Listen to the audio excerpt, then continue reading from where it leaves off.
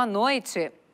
A Polícia Federal prendeu hoje dois médicos que cobravam por partos realizados pelo SUS no município de Itaqui, fronteira oeste do estado. Uma funcionária do Hospital São Patrício e um anestesista também foram indiciados por suspeita de participação no esquema. Segundo as investigações da Operação Falso Juramento, os valores variavam de R$ 400 a 1.800 reais. A polícia afirma ter provas de que essa cobrança indevida acontecia há pelo menos 13 anos e estima que os profissionais tenham embolsado cerca de 1 milhão e 600 mil reais.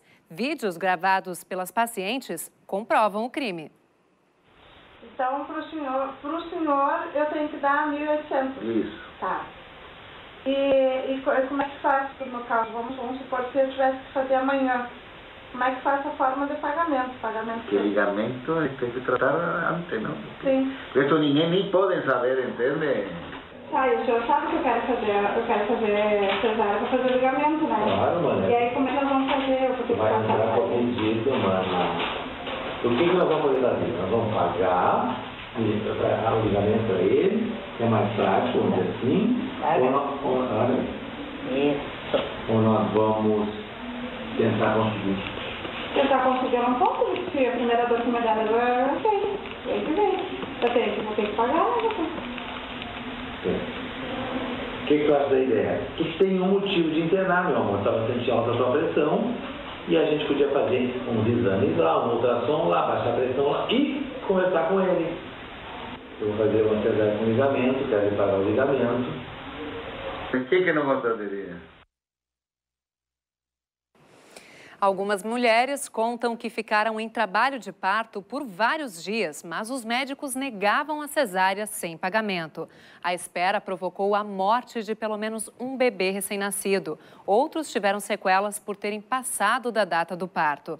Os detidos foram encaminhados à penitenciária modulada de Uruguaiana. Vão responder pelos crimes de corrupção, estelionato e realização de esterilização cirúrgica ilegal. Centenas de policiais federais, rodoviários e civis protestaram no aeroporto Salgado Filho contra a reforma da Previdência. Eles partiram em caminhada do laçador para reivindicar apoio dos deputados gaúchos que embarcavam para Brasília.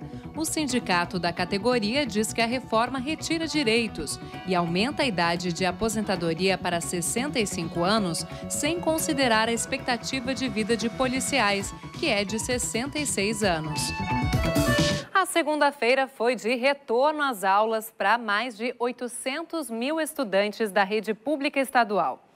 Para quem dirige as instituições, a semana toda é de ajustes nas turmas e conclusão de algumas obras. Já os alunos reencontraram amigos, mas teve também quem conheceu a escola nova. Os alunos menores foram recebidos pelos novos professores com balões de coração no Colégio Paula Soares, no centro de Porto Alegre. A escola continua sem sete salas do segundo andar, que estão interditadas desde o final de julho do ano passado. As obras de reforma do telhado e da rede elétrica iniciaram agora e a previsão é de quatro meses para o término. Já no Colégio Protásio Alves, na Azenha, as salas do terceiro andar interditadas até o final do ano passado foram devolvidas neste início de ano letivo. São mais de 1.100 alunos. Na escola, falta somente um professor de literatura e foram reduzidas sete turmas entre os três turnos. No Colégio Júlio de Castilhos, que fica no bairro Santana, começam as aulas hoje para cerca de 1.900 alunos. Deu congestionamento em frente ao quadro de identificação das turmas. As amigas Carolina e Emanuele, que estudavam juntas na Lomba do Pinheiro, chegaram ansiosas na nova escola. Estou muito nervosa. Por quê? É o primeiro dia, né? Eu tô acostumada com um colégio pequeno, esse aqui é um colégio gigante, eu tô muito nervosa mesmo. Na maior parte das escolas, estas primeiras semanas serão de filas na secretaria para ajustes. Até o final de fevereiro, o número de alunos matriculados nas 2.500 escolas estaduais era 11% menor do que no ano letivo anterior. Por isso, a redução de turmas. Mas a Secretaria de Educação do Estado calcula, com os ajustes, fechar em 900 mil alunos em 2017, chegando a uma redução de 2%. Na abertura do ano letivo em Não Me Toque, na região norte, o secretário da Educação, José Alcoba de Freitas, garantiu que, que o Estado vai nomear novos professores emergencialmente ainda esta semana. E a rede de ensino fundamental foi o setor mais afetado no primeiro dia da greve dos servidores de Cachoeirinha. A maioria dos 3.500 funcionários protesta contra as mudanças no plano de carreira. A paralisação é por tempo indeterminado. Fizemos assembleia com pai. O que era para ter sido o primeiro dia de aula se transformou em dor de cabeça. Fiquei sabendo hoje por outra mãe que veio aqui na escola na parte da manhã, né, que mora lá da minha casa, que a escola estava fechada e que ia ter greve. A greve é geral. Em escolas como esta, cerca de 400 crianças estão sem aula. Os grevistas protestam contra um pacote de medidas da prefeitura aprovado pela Câmara. Enaúde, por exemplo, é motorista do município há mais de 20 anos e teve seu adicional de risco de vida reduzido à metade. Tem muita coisa que agora a gente tinha e agora vai ter que abrir mão porque não vai poder ter mais. O adicional de tempo de serviço também foi reduzido. As medidas ainda diminuem a progressão dos salários de servidores com cursos de qualificação. Nós sempre apresentamos alternativas para a redução de despesas que reduzissem o número de, de uh, dos gastos com os cargos eletivos dentro da cidade. Né? Não só os cargos de confiança, tá? que de 2013 para cá aumentou bastante a despesa nesse sentido, mas também uh, nós questionamos o aumento abusivo que teve de 2013 para cá com uh, vereadores, né? não só o salário dos vereadores, mas o salário do prefeito, vice-secretários. Para o prefeito, não se trata de tirar direito. Agora, algumas vantagens, por exemplo, 15% a cada três anos acima do dissídio anual, isso ninguém mais consegue pagar, nem Cachoeirinha, nem nenhuma outra cidade do mundo. Portanto, isso precisava ser revisto. Nós revimos. Baixamos isso para 6%, que já é importante, né? Isso acima da inflação a cada três anos. Ele também afirma que o executivo tem feito a sua parte. A redução de 100 cargos de confiança e sete secretarias vai poupar 2,5 milhões de reais por ano. Além do primeiro dia de greve, o prefeito foi surpreendido com o arrombamento do seu gabinete. O caso está sendo investigado pela polícia, mas ele acredita que a autoria não tenha relação com a greve. E depois do intervalo, veja como foi a volta às aulas na rede municipal de Porto Alegre. E tem ainda a previsão do tempo, é instantes.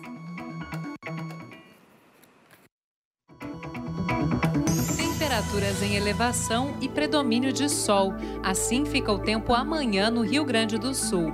Podem ocorrer pancadas de chuva passageiras no fim do dia apenas em pontos isolados do norte gaúcho.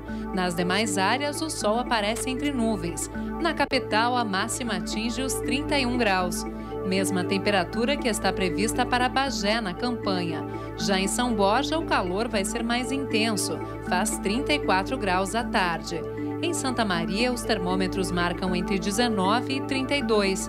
E em Caxias do Sul, na Serra, a máxima não deve passar dos 29. Hoje teve volta às aulas também nas escolas municipais de Porto Alegre e com polêmica é que continua o impasse entre professores e a prefeitura sobre a carga horária e a compensação de horas em períodos de reuniões pedagógicas. Nas 56 instituições que deram início às aulas, a rotina não foi alterada, conforme exigia um decreto do Executivo. Hoje pela manhã, nessa escola municipal na zona sul de Porto Alegre, os pais estavam confusos. Na dúvida, levaram as crianças para a escola no horário de sempre, pouco antes das sete e meia da manhã. Acho sete e meia, né? Para se organizar, aprender, já ter compromisso, né? A gente está em apoio aos professores, uh, eles têm todo o nosso apoio porque realmente faz a diferença para nós. Essa, essas mudanças vai prejudicar muitos pais. Antes do início das aulas, teve reunião, onde os professores explicaram aos pais e alunos a proposta de alteração na rotina escolar estabelecida pela Prefeitura, que, entre outras medidas, retarda o início das aulas para as 8 horas da manhã reduz os períodos de 50 para 45 minutos e acaba com o dia de compensação dos professores pelas horas trabalhadas a mais. Os educadores defendem a manutenção da rotina construída com a comunidade escolar, com o início das aulas às 7h30 da manhã e às 1h10 da tarde. Nunca se contabilizou café e almoço no horário, na carga horária do aluno. Todas as 56 escolas estão essa semana mantendo a rotina escolar vigente de 2016. A rede municipal de ensino conta com 99 escolas próprias e outras 226 conveniadas. São atendidos mais de 93 mil alunos.